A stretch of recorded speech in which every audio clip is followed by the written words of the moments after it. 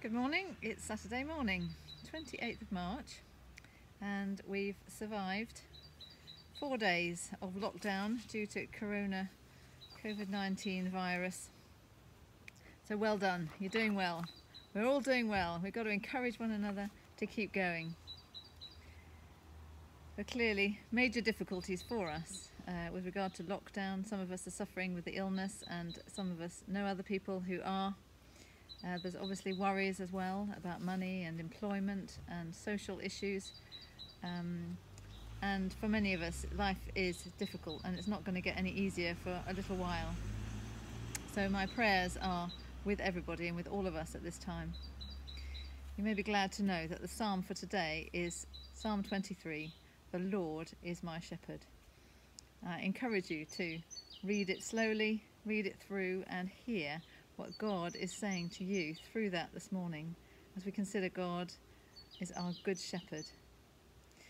Many of us in our lives may have already been through the valley of the shadow of death, uh, and for others, maybe it's still to come. But we may know that because we have faith in Jesus, faith in God, our good shepherd, that He will never let us down, that there is something more and something bigger for all of us, and He will be there through it all.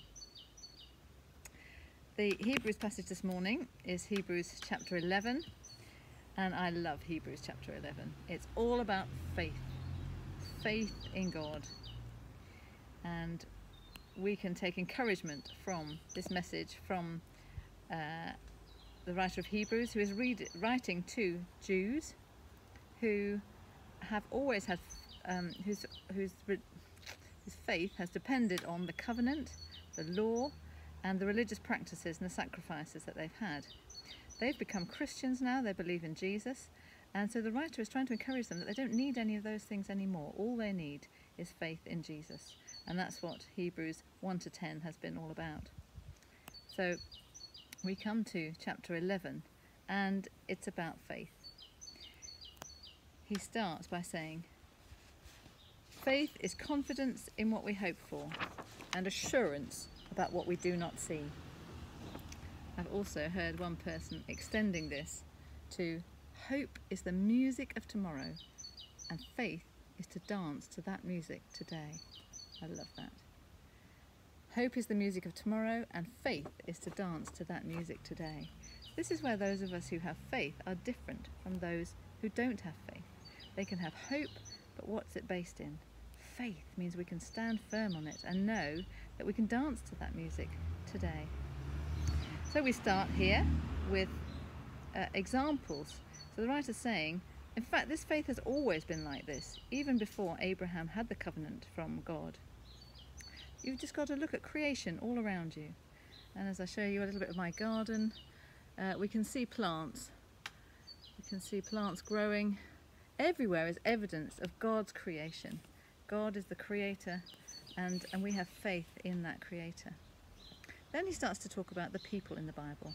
Cain and Abel. They brought their sacrifices to God. But it wasn't the sacrifices that God looked at, it was their heart.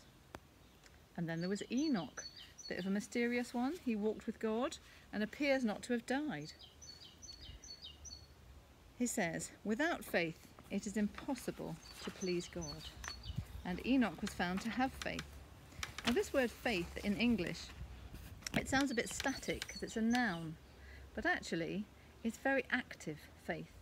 Now in English we can't say I faith, uh, it doesn't work. um, but we can say I believe, I believe, and it's the same word and that makes it sound a bit more active. And then there's one who is faithing, who, is who um, shows faith. And that word for us is faithful.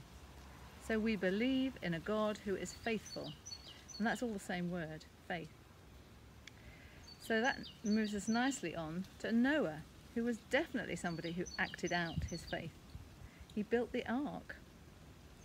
And then on to Abraham, who had faith in what God was telling him to do. He was told to up sticks and move on, start a journey living in tents, because he believed in the place where God was leading him to and not only into that place, but also into the place that, go, that was far in, into the future. He and Sarah became uh, the fathers of a dynasty, and their descendants would be as numerous as the, the sand on the seashore. But Abraham and all these others did not see what it was that God had promised. There was something far into the future that they never saw. They never saw Jesus, and they never saw that land that God was promising. And God still promises that place to us. We are all exiles and foreigners in this land that we live in at the moment. Our life is transitory, and God promises us far more. Abraham believed in a better country, a heavenly one. And God promises this for us too. A city whose architect and builder is God.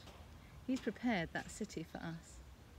This gives us perspective on our own lives, how transitory they are, and yet how sure our hope can be in God forever.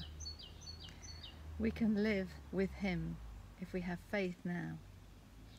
So, as we walk through difficult times, praying for those who suffer, helping those who are vulnerable, cheering those who have no hope, let's remember we walk with a God who is faithful. He will never let us down. We have hope in God, in Jesus, and in the promise of a future forever with Him. Faith is confidence in what we hope, sure, hope for and assurance about what we do not see. Hope is the music of tomorrow. Faith is to dance to that music today. So let's pray. Father God, we pray that you would help us to have faith. Faith for today and trust in you for tomorrow. Thank you for that eternal hope that we have in Jesus and in you. Help us to be bringers of that hope to other people. And may we dance to the music of faith today. Amen. Well, I'll see you tomorrow from 8 o'clock at Virtual Church on the website. I hope you have a good weekend.